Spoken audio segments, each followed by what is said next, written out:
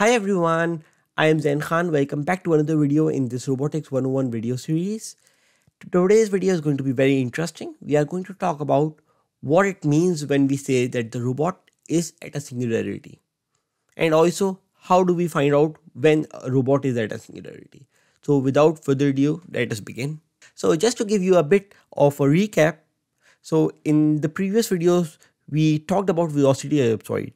So for a 2R robot here, I have drawn the velocity ellipsoid. If you don't remember, velocity ellipsoid just shows you all the possible velocities the end effector of a robot can achieve at a particular configuration. What this word configuration means is at a particular position. So for this case, the position would be described by the two joint angles, which is here, this one, theta 1, and this one, theta 2. So the velocity ellipsoid shows you the all the possible velocities that this robot can achieve at this particular joint angles theta 1 and theta 2. So if I give you any velocity within this um, parallelogram, you can be sure that the robot is capable of achieving those velocities. Now, if I were to reduce theta 2, so if initially my theta 2 was this and I reduced it to this, now we can see that the velocity ellipsoid kind of flattens up and it shrinks and it flattens up. And now let me take it a step up and let me make theta 2 as 0. So if I make theta 2 as 0, we end up with this scenario. So you see that the velocity ellipsoid has just shrunk to a single line.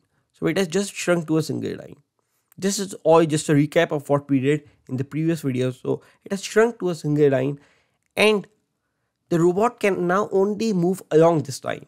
So the robot cannot achieve a velocity in any other direction except this line. So it can achieve any velocity either parallel to this line. So it can achieve this or this. It can it cannot obviously exceed the length of this velocity ellipsoid, but what it cannot do is it cannot achieve any velocity. Let's say it cannot achieve a velocity in this direction. And this particular position is known as the singularity of a robot. So what a singularity means is it is the particular configuration at which a robot loses its ability to move in a certain direction. Or we can say that it, it gets blocked in certain directions. And you notice the word configuration in this. So it is a particular configuration at which the robot loses its ability to move in a certain direction. So in this case, so the configuration would be when the theta 2 becomes 0, right? The theta 1 can be any angle. It can be 0, 90 or any 180 or any arbitrary angle. It doesn't matter. As long as theta 2 is going to be 0, we are always going to end up with this scenario where the velocity ellipsoid becomes a straight line. So we can say that the singularity point for this robot is when theta 2 becomes 0 degrees. So the next question comes, how do we find out when a robot gets to a singularity point? So in order to understand that, let us begin with this equation. So we have been dealing with this equation for a long time. This just tells us how the Jacobian maps the joint velocities to the end effector velocities. And in other words, if you give me any joint velocities, I just input the joint velocities into this equation multiplied by the Jacobian and I get the end effector velocity. Now let me put it another way. Now let's say if you give me any end effector velocity and I need to find out the required joint velocities in order to achieve that particular end effector velocity. So you give me any end effector velocity, so you give me any x dot and I need to find out the theta dot vector in order that would make the robot move at that at that particular end effector velocity. So the way to do that would be simply to just take the Jacobian inverse and bring it to the other side. So this equation right here. So what I've done is I have taken the Jacobian and put it to another to the other side and we get this equation. And in this equation, I can see that if you give me any end effector velocity, I just multiply it with the Jacobian inverse and I would get the joint velocity. So this would work for any end effector velocity, right? So I can always find out some joint velocities to make the robot achieve any end effector velocity, right? And if I get to this equation, that it, then it means that the robot won't be at a singularity, right? Because if I get to this equation somehow, then I can always achieve any velocity in any direction for some particular joint velocities, right?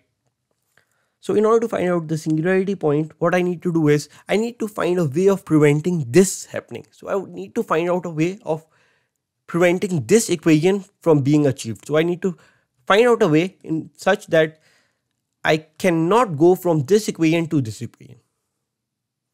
So just to reiterate myself, I need to find out a way so that I cannot move from this equation on the top, this equation right here, and I cannot move from this equation to this equation.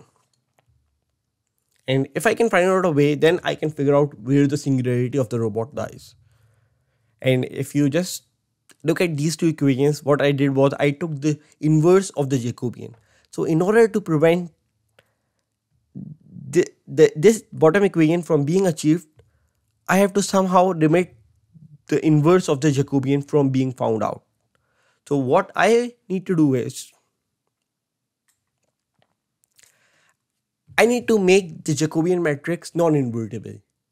And just to give you a quick refresher, what non-invertible means is that I cannot find out the inverse of a matrix. Like to, I have to make it non-invertible so I cannot find out the inverse of Jacobian. And if I cannot find out the inverse of Jacobian, then I then I cannot achieve this equation, right? So just bear with me. I know it might start getting a little confusing, but just trust me, it is all going to make sense and we are going to get to the point that we are going that we are trying to achieve very soon. So we have to make the Jacobian non-invertible. And in order to make a matrix non-invertible, we need to make sure that it satisfies two conditions. The first is it must be a square matrix and we know that the Jacobian for the case of a planar robot is generally a 3 cross 3 matrix. So this condition, square matrix is always going to be satisfied and the other condition is we need to make its determinant 0. So the takeaway is in order to find the singularities of the robot, all we need to do is we need to find out the Jacobian of the robot and set it to 0. That is all that is to know about this. So all that we did in the last 5 minutes to just sum it up is in order to find the singularities of the robot, we just find out the Jacobian of a robot and set the determinant of that Jacobian to be 0. Now let us see this in action.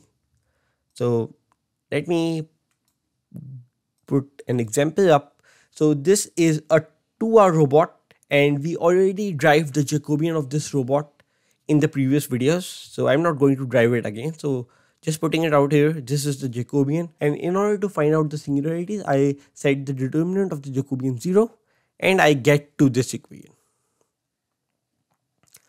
So in this equation, I can see that I get a structural singularity, which is when L1 or L2 becomes 0 in length. If either of them becomes 0 in length, then what this robot shrinks down to a single rod rotating in a circle. And we know that if a rod is rotating in a circle, so its tip velocity is always going to be perpendicular to the rod. So it loses its ability to move in certain directions. So it is going to be at a singularity. But normally, we aren't quite concerned with structural singularity. In robotics, what we are more concerned about is the specific configuration at which this singularity occurs. So for this case, setting sine theta 2 to be 0, we get theta 2 as 0 or 180 degrees. So just to show you these two configurations. So here is the configuration when theta 2 is 0.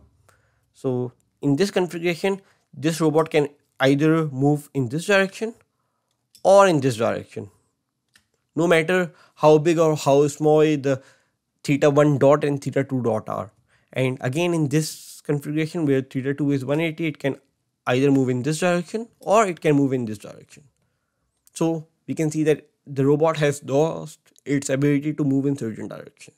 Now I have another example. I would want you to give it a try on your own. So this is just a 3R robot. So it is quite similar to the one that we did before. It just has an end effector at the end and now the Jacobian is a 3 cross 3 matrix which is the generic case of the Jacobian and in order to find out the singularity we just set the determinant of the Jacobian to be 0. So give it a try and see if you can find out where the where the singularities of this robot dies. I hope you did give it a try. So when I find out determinant and set it equal to 0, I again find out that for this particular robot too, the singularities are going to be when theta 2 is 0 degrees or 180 degrees. I hope you found this video useful. If you did, don't forget to subscribe and like this video. If you have any queries or confusions, leave them in the comments below. I will make sure I reply to every single query or confusion. And if you have any comments regarding this video or, or any other video, do let me know. And as always, see you in the next video and thank you for watching.